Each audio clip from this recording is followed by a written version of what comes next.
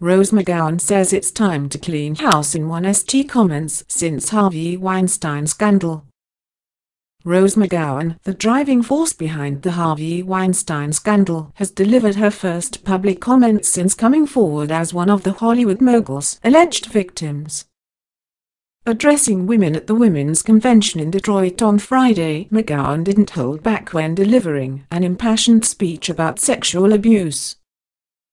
The charmed star, however, stopped short of mentioning Weinstein's name, and merely referred to him as the monster as reported by ABC News. McGowan, whose name thrust itself into the national spotlight as part of a scandalous October 5 New York Times story alongside dozens of Weinstein's other alleged victims of sexual misconduct, urged women to speak out about other monsters. I have been silenced for 20 years, I have been slut-shamed, I have been harassed, I've been maligned, the central figure in the Harvey Weinstein scandal told the roaring crowd. In its piece published earlier this month, The Times alleged that McGowan had reached a $100,000 settlement with Weinstein back in 1997 after a hotel room incident at the Sundance Film Festival.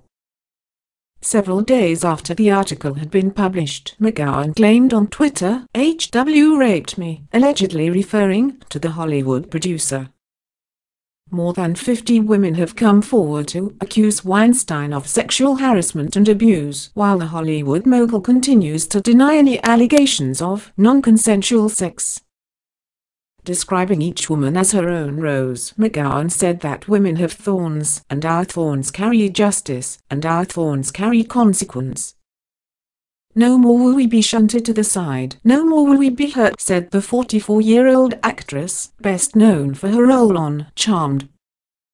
It's time to be brave in the face of unspeakable actions, McGowan also slammed the entertainment industry for being a male-dominated environment, saying that it's time to clean house.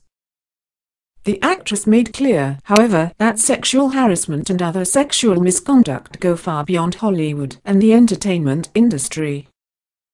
The alleged accuser of Harvey Weinstein described herself as a voice for all of us who have been told that we are nothing and for all us who have been looked down on for all of us who have been grabbed by the motif of asterisk asterisk king poo asterisk asterisk y.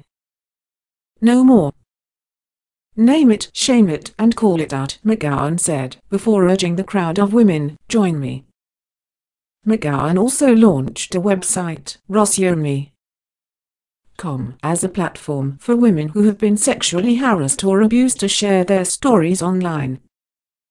The Harvey Weinstein scandal has been vacuuming up headlines for nearly a month now, with accusations of sexual misconduct extending far beyond the now disgraced Hollywood producer.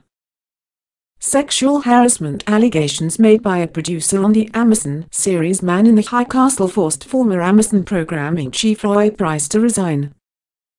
Earlier this week, A-list actresses Selma Blair and Rachel McAdams came forward to accuse director James Toback of sexual harassment. Following the Harvey Weinstein scandal, several women have come forward with sexual harassment allegations against disgraced journalist and former MSNBC contributor Mark Halperin.